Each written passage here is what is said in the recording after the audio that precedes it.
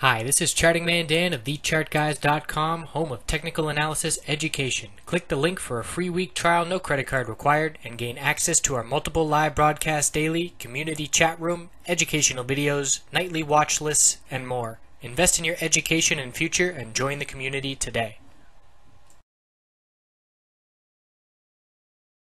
Looking at SPY and SPX on the daily and weekly time frame, bulls bought the dip from yesterday.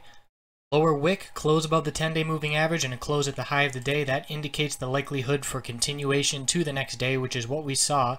Still holding the 10-day moving average support, riding it to the upside. 208.89 is that level. And we're looking up at resistance of 210.25 and then the high on the bounce 210.92. So bulls still in control. We did see a bearish MACD cross follow through.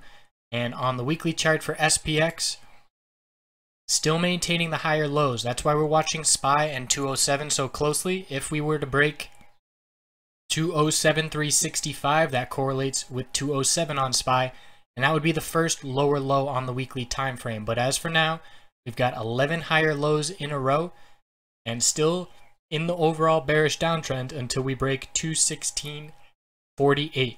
So that is the key level to watch.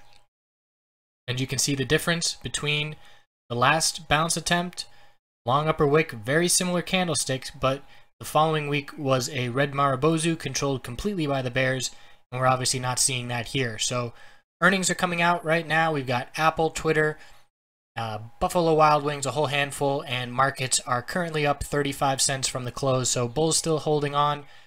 These earnings season, it's either going to be fuel for the Bulls to head higher and hit higher highs, or it's going to be some motivation for the Bears to finally put a stop to this bounce. And as of right now, it is favoring the Bulls. So we'll be keeping a close watch. We're watching the hourly chart for key resistances. The 20 period and 100 period moving average on the hourly has been rejecting the price, and the 200 period has been holding it. So lots of time frames can give you lots of little puzzle pieces of information that you can put together and get the whole picture. So we'll see if these bullish reaction to earnings so far carries over into tomorrow and we'll be watching up in that 210 level for resistance. Thanks for tuning in. Have a great night. Thanks for watching. The Chart Guys community has compiled trader tips from dozens of traders over the last year and put together a free ebook you can access by clicking the button and entering your email. Have a wonderful night.